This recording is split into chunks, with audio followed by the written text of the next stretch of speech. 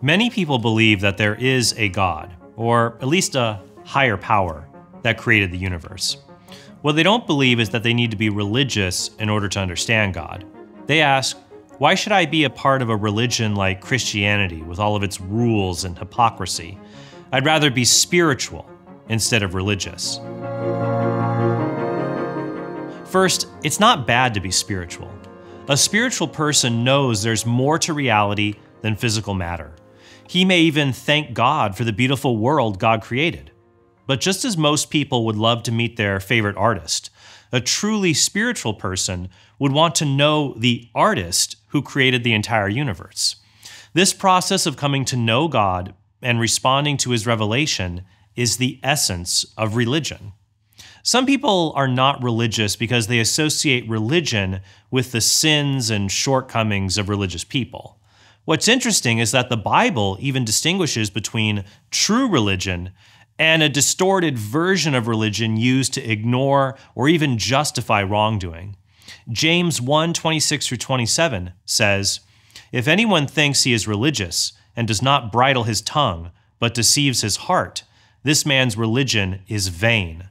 Religion that is pure and undefiled before God and the Father is this to visit orphans and widows in their affliction and to keep oneself unstained from the world.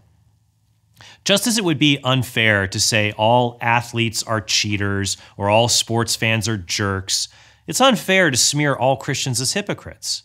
The same is true when it comes to claims of religious violence, like the idea that religion is responsible for most wars. In fact, most wars aren't fought over religion, but for non religious reasons, such as securing land or natural resources.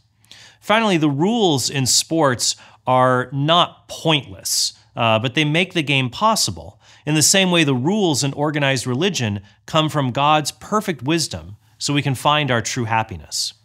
We also should keep in mind that human beings are naturally religious, which indirectly speaks to us being made in God's image and prepares us to seek Him out.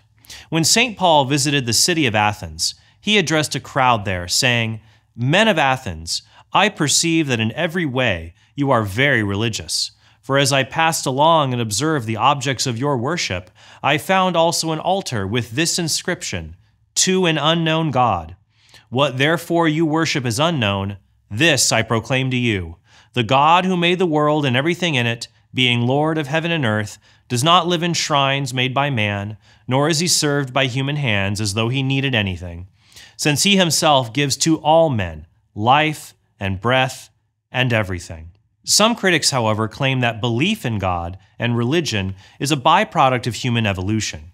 They say our ancestors had an overactive agency detection system that caused them to imagine things that didn't exist. This overactive agency detection system was beneficial for ancient humans because when they overreacted to imaginary tigers in rustling bushes, they were less likely to be eaten when there was a real tiger hiding there. According to critics, this overactive agency detection system was passed on to modern humans who now imagine the existence of a God who doesn't really exist. But even some atheists criticize evolutionary psychology as being untestable.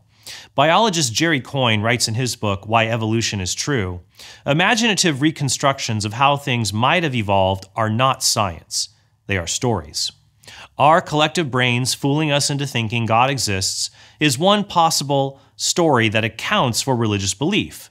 But another possible account is that we detect God, since God has given us an instinct to find and worship Him. Both of these accounts explain religious belief, and the atheist would have to provide an additional argument to justify preferring his account over the theistic one or the one in favor of belief in God.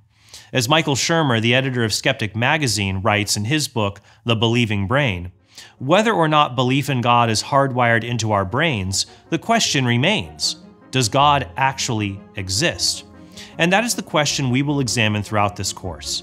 But before we do that, we will first discuss the three possible positions a person could have on the question of God's existence and see if one of them, or atheism, should be a person's default belief system.